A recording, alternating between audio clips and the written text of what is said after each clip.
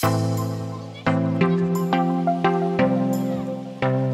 my name is Nakia, and you're watching episode 3 of Hot Topics. If you're new to my channel, please hit the subscribe button and also give this video a thumbs up. On Hot Topics, we discuss all things that are social media related, influencer, and then also things that are basically a hot topic. So today's episode of Hot Topics, we are going to discuss the Marie Kondo's method of tidying up. Now, Marie Kondo is a professional organizer, but she's something a little bit more than a professional organizer. She's like a little tiny professional organizing queen. And she has a book called Tidying Up, and I will post a picture of it here and then also link it in the description box below. Her book can be purchased on Amazon, but she also has a special which is on YouTube. It's a YouTube original series and she goes through um, several houses, maybe 10 houses. And what I like about her series is she used different types of families. So some of her families are single family homes. It could be an, an elderly family home or a family with children, single, blended, just you name it. She really goes into these homes of these peoples and their homes are basically cluttered so she goes in and she doesn't speak much English at all. She actually has to have a, a translator with her. And she talks to them about tips and different ways that they can tidy up. So you've never seen her tidying up uh, the Marie Kondo style on Netflix. It is a very good video or very good uh, series to watch. Like I said, it's only a handful of episodes just for the one season. Now, one thing I do like about her technique is she's very detail oriented. So um, she has a lot of tips for different things. So each episode, when she's talking to a family, she will talk about some of the things that could be unique to that family, which can also be unique to yours.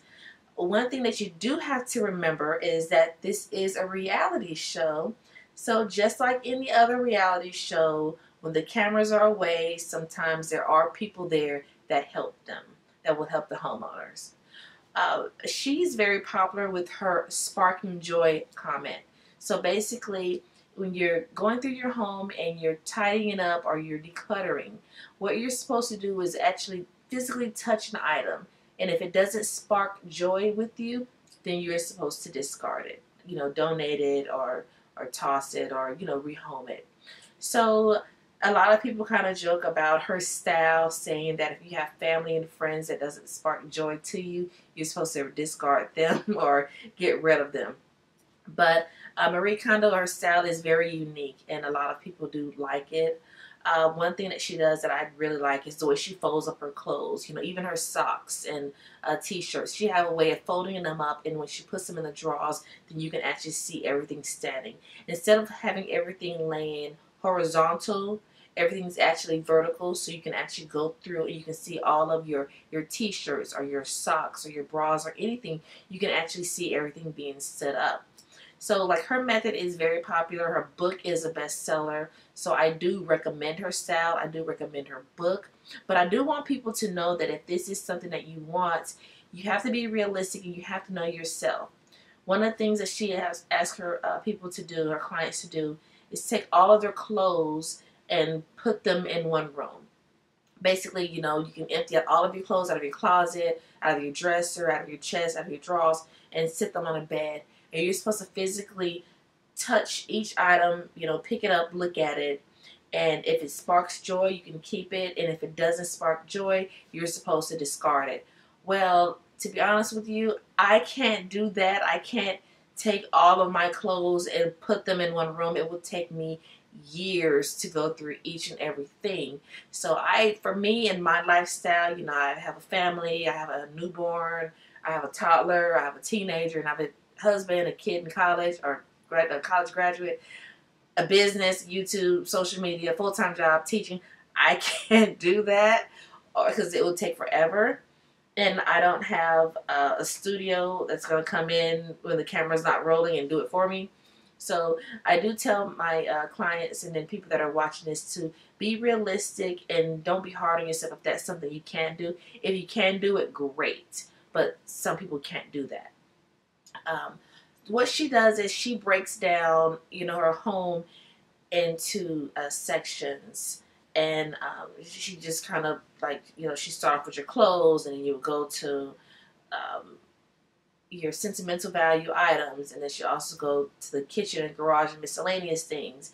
And, you know, she just kind of breaks them down that way. So the way she breaks them down is really interesting. And I'll put what they are in the comment description below in the blog post, then also, you know, somewhere up here. But I overall, I approve of her method. The Marie Kondo method is really neat. Watch the series. It's really good. It's very entertaining, and I love seeing real people working. The only complaint I do have is when you look at some of the before and afters, you know they actually have the professional people coming in and helping them. And to be honest with you, that's how it is with any HGTV or any home improvement show.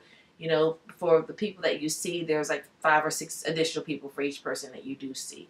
So I just don't want people to have an unrealistic expectation when they watch the show that they can do some of those things. You may be able to, and if you do, that's great. But if you can't, you know, don't kill yourself.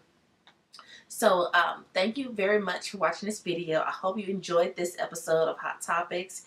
If you have any questions or comments, please leave them in the comment section below. And also, if you have an idea of something you would like to see as a hot topic, let me know. I would love to be able to provide additional information for anything. All right. Well, once again, thank you very much, and you have a divine day. Goodbye.